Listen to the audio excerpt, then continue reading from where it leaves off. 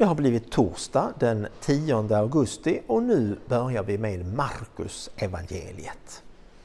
Jag pratade ju tidigare om att Matteus han är en stor pedagog. Han har liksom samlat alla liknande texter på ett ställe och han lägger texter efter varandra så att de befruktar varandra och vi får en pedagogisk linje och vi förstår och så.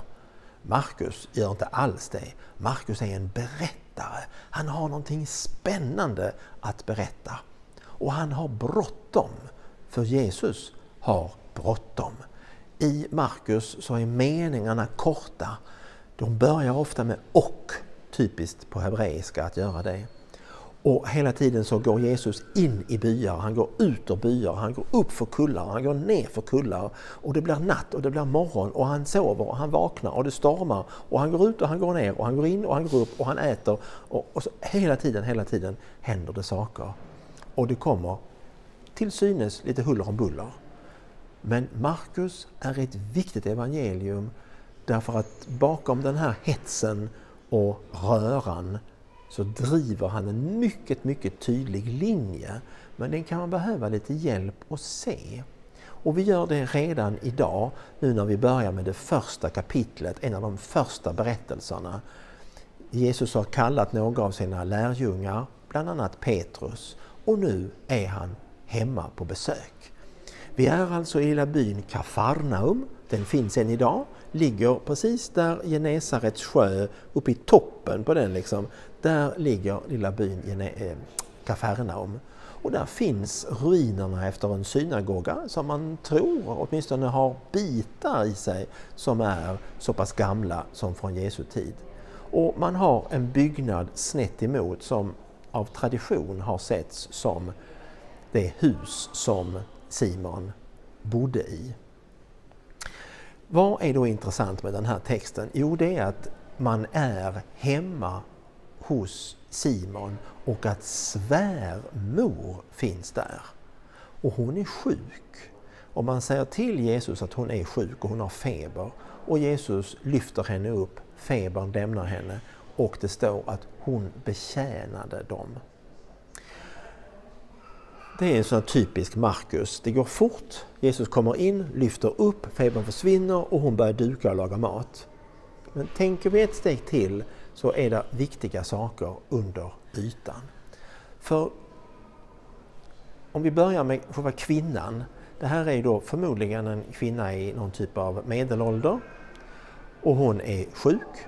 Och alla som är sjuka hos Markus, det är ganska många berättelser om sjuka människor, de är ju förkrympta, de är begränsade, de är instängda, de kan inte utnyttja all sin potential som gudsavbilder utan de har blivit de har blivit instängda i kroppar som inte fungerar. Och det Jesus gör genom att han hela tiden då möter dem, botar dem, det är att han befriar dem så att de åter kan vara aktiva, att de kan göra saker. Och eftersom vi nu är hemma hos och det här gänget med män har kommit dit, ja det första hon kan göra det är ju att hjälpa dem att äta.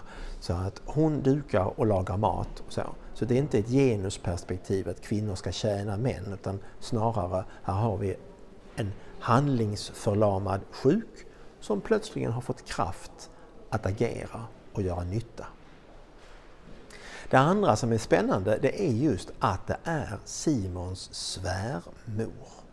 För har du någon gång tänkt på, vem är egentligen de där lärjungarna som Jesus kallar? Hur gamla är de egentligen?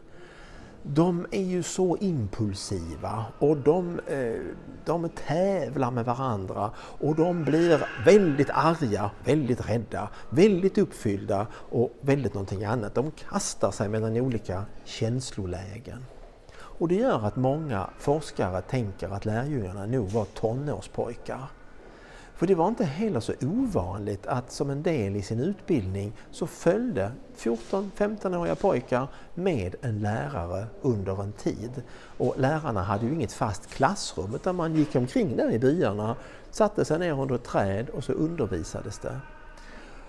Eh, så att när det står att de lämnade så betyder inte det att de stack och försvann utan att de var borta på dagarna och kanske till och med några nätter. Sen kom de hem och sov igen och kanske hjälpte mamma och pappa med, med huset eller med jorden eller med gården eller med fisket.